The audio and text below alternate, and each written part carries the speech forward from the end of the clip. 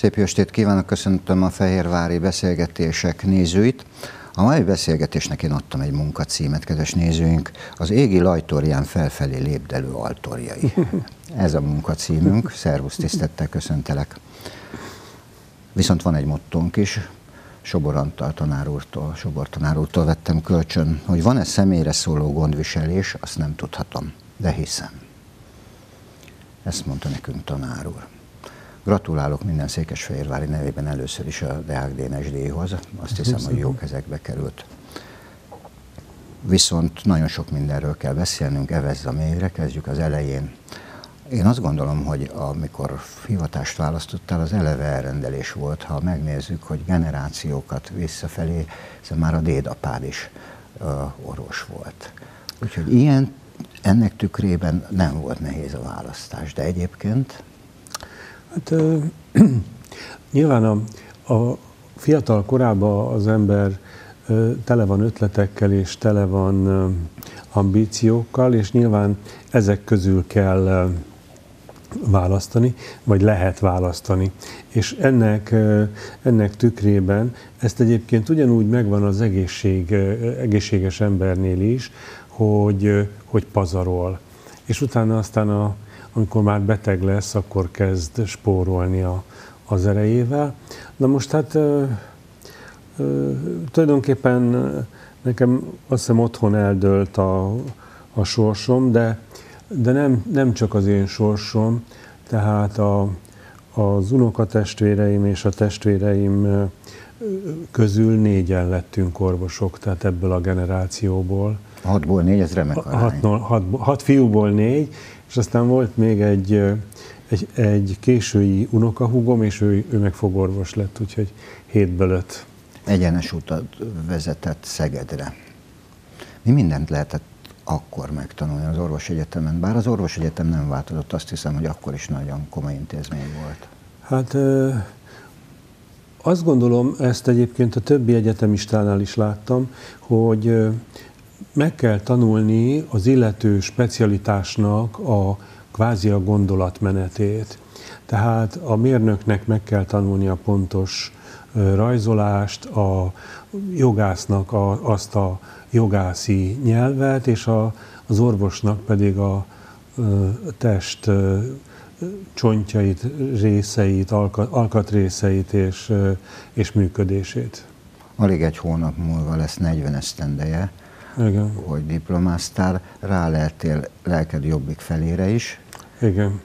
És ráadásul választottál szakirányt. Én a szakirányra vagyok kíváncsi, hiszen az nagyon-nagyon fontos, hogy egy frissen végzett általános orvos miként folytatja szakmai pályafutását. Hát az édesapám a szemorvos volt, és ő megkérdezte, hogy nincs-e kedvem szemorvosnak lenni, és akkor hát én elég furcsán válaszoltam rá, hogy ha szemorvos lennék, akkor csak ennyi mindenhez értenék, és azért kár volt, kár, lett, kár volt hat évet tanulnom, úgyhogy, de, de komolyra terelve a szót, azt, szóval nekem egy olyan, olyan foglalkozást választottam, ahol le tudok ülni, és meg tudok a, be, a beteggel beszélni mindent.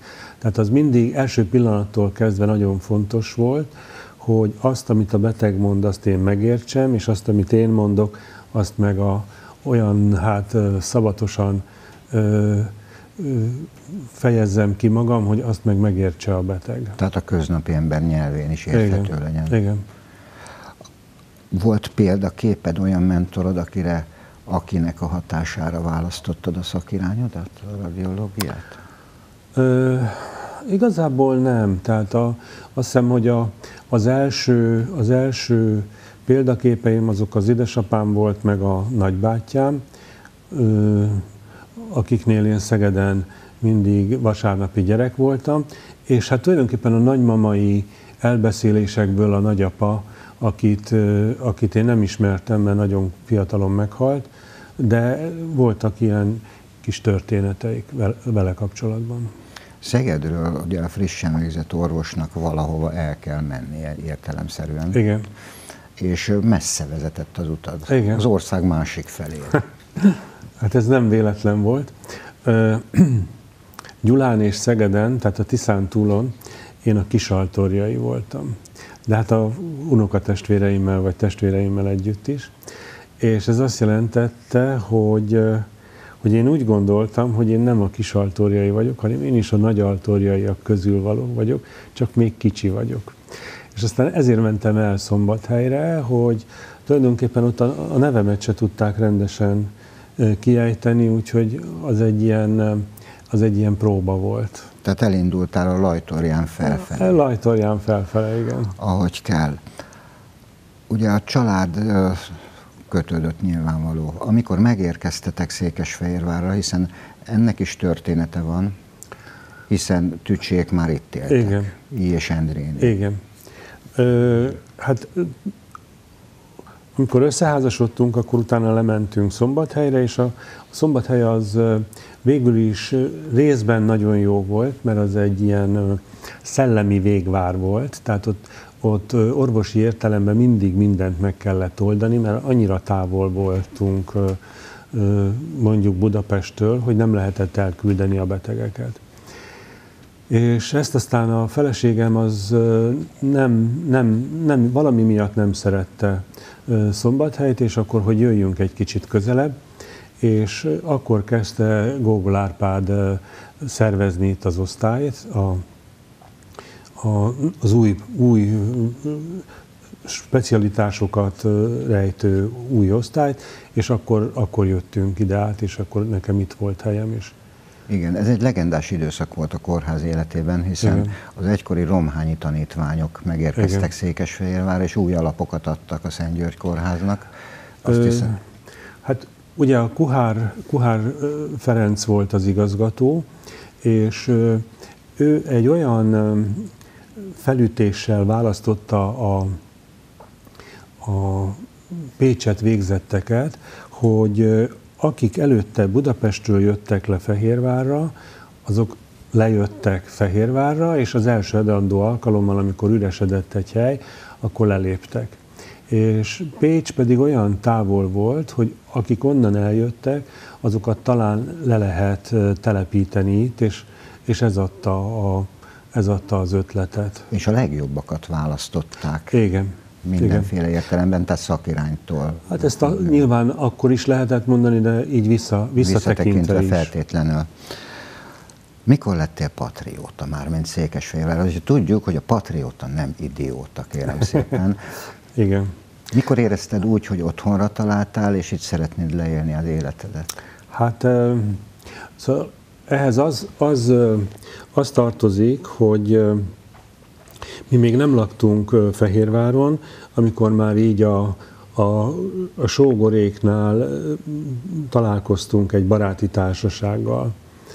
És, és az, nagyon, az nagyon megtetszett, és tulajdonképpen ez a, hát a szellemi, szellemi társaság, ez, ez nagyon közel állt hozzánk, és hát végül is azt gondolom, hogy a, a, emiatt választottuk elsősorban Fehérvárt. Na most, amikor ide költöztünk, hát ugye akkor nem ismert az ember senkit, vagy nagyon kevés embert, csak a lényegi embereket, és a kórházban is a legnehezebb az az volt, hogy megszokni a kollégákat, hogy, hogy ki, hát nem, ki, hogy, hogy, hogy gondolkodik. Tehát, hogyha ha valaki azt mondja, hogy ezt most rögtön meg kell operálni, akkor valóban rögtön meg kell leoperálni. Ha azt mondja, hogy várhatunk egy kicsit, akkor valóban várhatunk-e.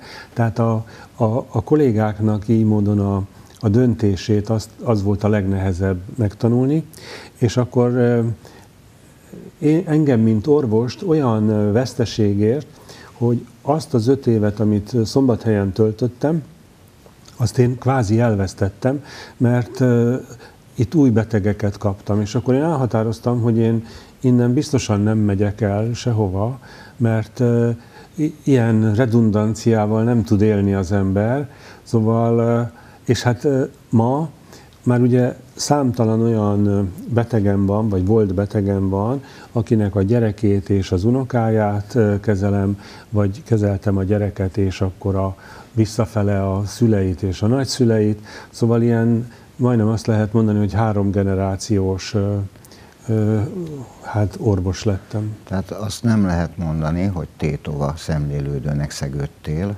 Nem, nem. Sokkal inkább világmegváltónak valamelyest. Hát... Mondhatjuk ezt? Én szombathelyre is így mentem, hogy egy maximális programmal, hogy akit a többieknek nem sikerül meggyógyítani, azokat is. Mondtál egy gyönyörűséges szép körmondatot tegnap előtt a Romhányi átadásán. Elmondanád úgy is, hogy a nézők is megértsék, hogy tulajdonképpen miről van szó? Hogy hogy indult a pályád, egy ívet mondtál el nekünk a nagyszer, hogy mi, hogy szerettél volna lenni a pályát során felfelé és felfelé? hát amikor fiatal doktor voltam, akkor nagyszerű orvos szerettem volna lenni. Amikor én úgy éreztem, hogy ez sikerült, akkor utána népszerű orvos szerettem volna lenni, és amikor népszerű orvos is lettem, és nem volt időm semmire, akkor már csak nagyszerű orvos szerettem volna lenni, de ezt, ezt nem, nem sikerült visszafele. Ez az út. Viszont megtörtént. A nagyszerű orvosig rendben van. Beszéljünk a kultúráról. Ha valaki valamelyest is ismer, azt tudjuk, hogy az interkulturális, úgynevezett interkulturális modellt teljes egészében elutasítod, ha úgy tetszik, akkor a, a tiéd a örökké valóság modellje. Ez hogy alakult ki? Hiszen csak a baráti körödre kell, majd róluk beszélünk később. Igen. Igen. Hát eh, annak idején egy, egy Babics verset hallottam a, az egyik barátom édesanyjától, betelni mindenféle borral, letépni minden szép világot, és szemmel, szájjal, füllel, orral felfalni az egész világot. Szóval valahogy így indult ez az egész, tehát mindenre, mindenre kíváncsi voltam, mindenre fogékony voltam, minden érdekelt. Ami megtetszett, azt kvázi tovább vittem, ami nem, az, az, azt elengedtem. Szóval hát szépségek, jóságok után kutatott az ember. Egyrészt a, a, gyönyör, egy, egyrészt a művészet az gyönyörködés, másrészt pedig hát valamilyen szinten egy kis vigasztalódást is jelent, vagy, vagy És ebben vigaszt. társakra lehetél, csak kivonatosan a teljesség igénye nélkül Pesovár, Takács Imre, Újházi, Ecsedi pár, még egy házas pár, Kovalovszki Márta néni, Kovács Péterrel, Igen. Nagy Benedek, Kas János, Kallós Zoli bácsi, Szomjas Gyuri, és így tovább. Igen. Tehát, Igen. És ez mind-mind más művészeti ágból a java. Igen. Kivonatosan. Hát, Tehát ez azt jelenti, hogy, hogy kultúrában, művészetben a jóban mindenevő lennél? Hát azt hiszem Oscar Wilde mondta, hogy nincsenek elvárásaink, nekünk a legjobb is megfelel. Ugye, szóval, hogy ez Hát ez részben, részben véletlenül adódott, hogy, hogy ez így összejött, és nyilván az egész életnek ez a része, ez egy társas játék, tehát oda, oda-vissza. Én orvosként is bizonyos mértékig egy tükörként is megszoktam fogalmazni saját magamat, tehát hogy hogy az az idő, amit én a betegeimmel töltök, az, az gyakorlatilag akkor megszűnik a világ számomra, és akkor csak a beteggel foglalkozom, és hát ugyanez van a, ugyanez van a barátokkal is. De ahhoz, hogy az ismerettségből jó ismerettség, aztán barátság legyen, idő kell. Vannak alapvető kritériumok ahhoz, hogy valakit a barátodnak valhassa magát, és fordítva?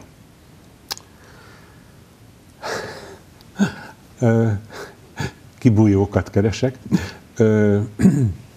Baráta az, akit ismerek, és mégis szeretek, ugye? Igen. Tehát, hogy hát persze. Szóval én azt gondolom, hogy miután megismeri a másikat az ember, az alatt az idő alatt meg is lehet szeretni. Hát egyébként ez férfi és nő között is előfordulhat. Igen, nos, és vannak-e legek? elsők közül az egyenlők, akiket egy-egy művészeti ágban mindenek felett tisztelsz, szeretsz, akikkel akár szavak nélkül is megérted egymást, akik körbevesznek téged a mindennapjaidban Igen. is. Ö, hát tulajdonképpen van is, meg nincs is, mert, mert ez a varietas delektát, tehát a változatosság gyönyörködtet, ez Szóval inkább ilyen, ilyen reminiszenciák vannak, hogy ilyen hangulatok, hogy ha ö, ilyen hangulatom van, akkor ezt szeretem, azt azt szeretem, szóval inkább, inkább ezt mondanám. És ugye a, a mi szakmánk is olyan, hogy tulajdonképpen, ha több dologhoz ért az ember, akkor bizonyos jeleket bizonyos jeleket másként tud értékelni. Tehát azt szokták mondani, hogy a, az orvos tudományban és a szerelemben ott nincs mindig és soka, soha. Nincsenek abszolút ö, ö, kategóriák.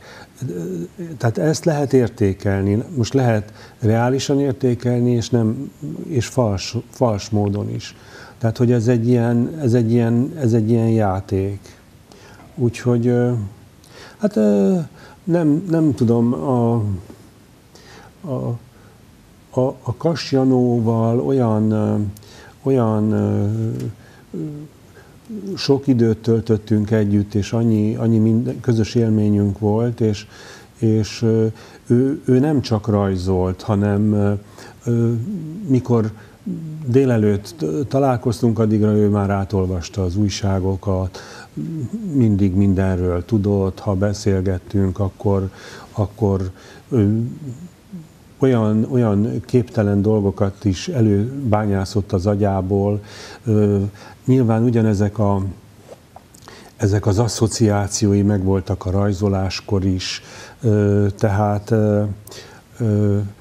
1989-ben készített egy ex libriszt, és akkor én azt, kérde, azt kértem tőle, hogy a rendszerváltás hajnalán, hogy hát a toleranciát rajzolja, rajzolja meg valahogy, mert a következő időben, ha nem gondoltam, hogy 30, 40 és 50 év, és egész életünkben szükség lesz erre, akkor ő rajzolt egy olyan Szent Ferencet, aki nem csak a madaraknak prédikál, hanem egy oroszlán és egy majom is van mellette, és, és egyéb állatok is. És, és láttam, hogy ez neki nagyon tetszett. Ezt megrajzolta egy ilyen picike kis tenyérnyi rajzba. És utána néhány év múlva láttam, hogy megrajzolta óriási rajzban is. De a, a, a, az ő rézrajz, rézmetsző agya az úgy működött, hogy az egyiket jobbra néző, a másikat balra néző. A bal kezével rajzolt, a jobb kezével aláírt. Tehát egy olyan, olyan és hát egyébként meg egy nagyon kedves ember volt, és, és nagyon finom ember volt, úgyhogy szóval ilyen, ilyen, ilyen lehetőségek voltak. Valamennyi barátságodban kiteljesezte magad is? Külön-külön? Hogy nem. Hogy nem. Tehát ez, ez, ez azt gondolom, hogy egy, egy barátság az oda-vissza megy, tehát hogy egyszer nekem, egyszer neki, egyszer nekem jó, aztán neki, én kapok többet, ő kap többet, szóval ez, ez biztos, hogy a kölcsönösség alapján működik. Tehát ez egy sajátos önzetlen mecenatúra tulajdonképpen. Igen. Akkor beszéljünk a mecenatúrától másként, az, az orvosiról. Amikor felkaroltad a szenyor orvosokat, ez nagyon-nagyon fontos pillanat volt, én azt Igen. gondolom, mert Igen. hogy valljuk meg, méltatlanul elfeledjük az egykori fehérköpenyes barátunkat, aki ha úgy tetszik, akár fehérvári példát is mondhatnék, most már csak alig csoszog-csoszog. Igen. Ö,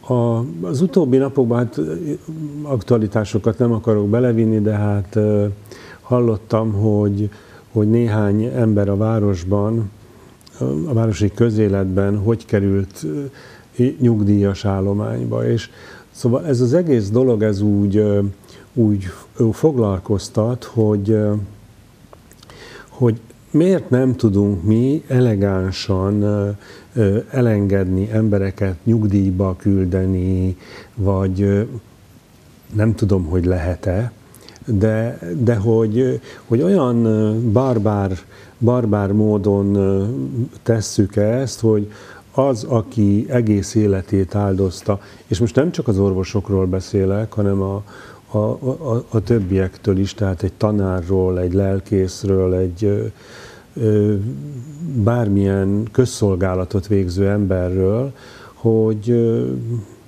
eddig kellettél, mindent kihasználtunk, és holnaptól mehetsz. Szóval, hogy ez egy nagyon nehéz dolog. Én hát orvosi kamarás vagyok, és 20 éve nyilván véletlenül beválasztottak a Magyar Orvosokért Alapítványnak, és munkatár, kuratóriumi tagjai közé, és hozzánk lehet kérvényt írni, vagy, vagy kérni lehet tőlünk pénzt. Ha valaki bajba kerülhet. Igen ám, de hát mindenki bajba kerülhet. Ugye? Tehát mindenki előbb-utóbb abba a cipőbe bele léphet. És akkor egyszer Pestről jöttem, és akkor arra gondoltam, hogy hát mit tudnánk csinálni a mi nyugdíjasainkkal. Na most nekem annyi pénzem nincs, hogy mindenkinek pénzt adjak, mert ugye az lenne a legegyszerűbb dolog. Világos. És akkor, akkor jött ez a gondolat, hogy hát valami, valami tiszteletbeli dolog kellene, és akkor kitaláltam ezt a ezt az összejövetelt, akkor ott vendégül látjuk őket egy ebéd erejéig, akkor, hogy artistikus legyen, csináltunk egy érmet, amire a Nagy Benedeket kértem meg, és neki azt mondtam, hogy, hogy milyen szolidaritást lehetne kifejezni, vagy hogy lehetne a szolidaritást kifejezni. És akkor ő egy Szent Márton jelenetet vésett az éremre, ami azt jelenti, hogy ugye a római katona a fél köpenyét odaadja a koldusnak. Na most ugyanezt csinálja a, a humán szolgáltatást végző orvosok, tanárok, papok és lelkészek hada is, ugye a fél életét a, a másiknak adja. És hát ez, ez, egy, ez egy ilyen nagyon jól sikerült teli találat volt. Így van. Nádasdi Borbála mondta egyébként, hogy a fogyasztói társadalomban nincs ünnep, csak vásár. Ugye gyakorta Igen. Kell, hogy egyetértsünk vele. És akkor még egy díjról beszéljünk, hiszen néhány napja adtátok át a Romhányi díjat. Ez is nagyon-nagyon fontos. Tehát pozitív megerősítést jelent, én azt mondom. Igen. Aki kapja, és annak is, aki adja, hiszen ha látja a kuratórium, Igen. hogy van rá méltó ember. Igen, igen. Szóval pontosan ez az, hogy hát ez a, ez a Romhányi díj, ez igazából, igazából Derényi Gábornak a ötlete vagy találmánya volt, és én tíz éve kerültem ez a másik kuratóriumi elnökség, amit végzek, és akkor, akkor, akkor én hozzám az kötődik, hogy a, a Romhányi professzor arcképét ugyanez a, a Nagy Benedekkel megcsináltattuk, és olyan, mintha ránk nézne. Na most Romhányi professzor Száron született, és itt a Ciszterci gimnáziumban tanult, és ö, ö, ugyanúgy, mint valamikor Semmelweis Ignác, és egymás mellett van a, a, a táblájuk is, és aztán ö, elment az orvos egyetemre, és egy, egy fantasztikus hatású ember volt. Tehát egy nem csak jó orvos, hanem egy nagy tanító is, és egyébként emellett még egy, egy ilyen játékos agyú kutató, felfedező kutató volt. És generációkat oktatott Pécset, minden tanítványát ismerte, de nem csak, nem csak az előadásról, hanem később is, ha találkoztak, hogy, hogy nevén szólította. Tehát fantasztikus képességekkel rendelkezett, és hát ez mindenkinek a, az agyába beivódott. És hát ő pontosan az a, az a szerencsés választás volt, hogy egy összekötők, a legkisebb közös többszörös, ami összeköt embereket. Úgyhogy, és hát most az utóbbi években egy előadást is tartanak a, a, a díjazottak, és lehet látni, hogy igenis egy nagyon, nagyon nívós társaságot sikerül elismernünk. Ez egy életműdíj, és nem csak orvos, hanem jó ember, és vagy jó kutató, szóval, hogy ezek is megvalósulnak. Van egy díj, ami hasonlít, Igen. csak nem így hívják, ez a Deák Dénes díj. Zárjuk Igen. keretbe a történetet. Milyen gondolatokkal fogadtad? Hát meglepődtem. Meglepődtem. Hát az, az öröm és a, az értetlenség, vagy az üresség hullámzott napokig, napokig bennem. És hát amikor megnéztem, hogy kik közé kerültem, akkor meg elájultam, mert e, talán a legjobb társaság, amiben eddig életembe kerültem, szóval akik előttem kapták a díjat, azok mind, mind kiváló emberek voltak. Mit szokás kívánni egy beszélgetés végén? Mit kívánjak én? Mit szoktak kívánni? Hát bort, búzát, békességet. Tulajdonképpen, hogy van ez, hogy az egészség a legfontosabb, mert az összes többit azt vagy meg tudjuk vásárolni, vagy, vagy jön.